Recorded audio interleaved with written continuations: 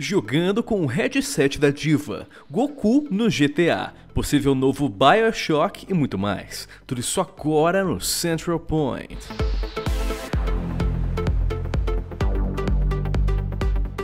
A EA revelou o trailer de lançamento do seu novo game de corrida, o Need for Speed Payback, que lança essa semana. O game irá conter um modo história bem semelhante à linha da série Velozes e Furiosos e ainda tem um bônus para nós brasileiros, que é a música Rap Lord do grupo brasileiro de rap Haikais, fazendo parte da trilha sonora. Corre para conferir que Need for Speed Payback lança em 10 de novembro para o Xbox One, PlayStation 4 e PC.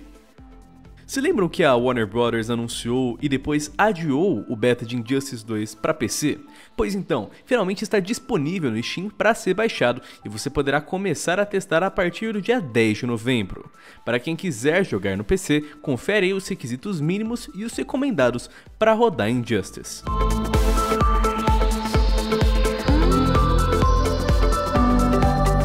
E aí, PC adequado ou é uma torradeira manivela? Injustice 2 lança em 14 de novembro para o PC.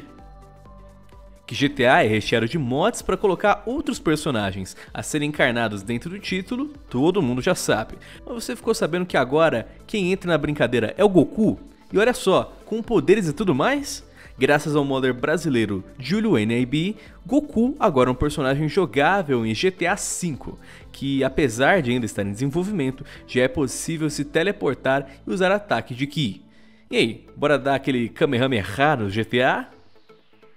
Muita gente já especulava se Watch Dogs e Assassin's Creed faziam parte do mesmo universo, ainda mais com o fator de um personagem específico ter um papel importante em uma determinada fase de Assassin's Creed Black Flag, assim como há uma missão que envolve matar esse mesmo cara em Watch Dogs 1. A Ubisoft negou por muito tempo, alegando que eram apenas uma brincadeira dentro da equipe, mas é impossível negar agora que Assassin's Creed Origins contém conteúdo justamente sobre a tal missão feita no Watch Dogs 1. Seria possível um crossover entre os jogos? Ubisoft sua linda, fica aí a sugestão, hein? Já pensou um universo da Ubisoft onde todos os personagens estão no mesmo mundo? Seria fantástico. Aliás, para quem jogar no PC, a Uplay está oferecendo Watch Dogs gratuitamente até dia 13 de novembro, às 2 horas da tarde no horário de Brasília. Corre para pegar o jogo enquanto ainda dá tempo. A Ghost Story Games revelou que está trabalhando em um novo projeto e existe uma grande possibilidade de ser um jogo inédito da série BioShock. O estúdio estava buscando membros para trabalhar em um novo game do gênero Immersive Sim, que é o mesmo que inspirou os games da franquia BioShock. Alguns dos requisitos da vaga seria experiência em games com mundo aberto, semi-abertos ou FPS. Claro que pode não ser nada demais ou ser outro título qualquer, mas aquela esperança de um novo Bioshock tá palpitando aqui no peito. Você achou que a sua carteira não iria chorar hoje, né?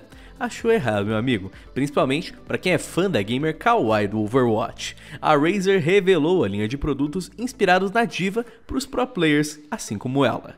A linha contém um mousepad, um mouse e um headset que são uma coisinha linda. O mousepad e o mouse já estão listados nos produtos da Blizzard, sendo o mousepad por 20 doletas ou cerca de 65 reais, o mouse custando 60 doletas ou cerca de 200 reais, porém o headset com o nome de Mecha ainda não tem especificações técnicas ou um valor revelado. Comecem a parcelar o rim de vocês aí, que com certeza vai ser uma fortuna esse kit completo. Para mais notícias do mundo dos games é só checar o Central Point upado todo santo dia ao meio-dia e para mais do mundo dos games é só se inscrever aqui na Central. Galera que foi o Lion, muito obrigado pela sua atenção e até mais.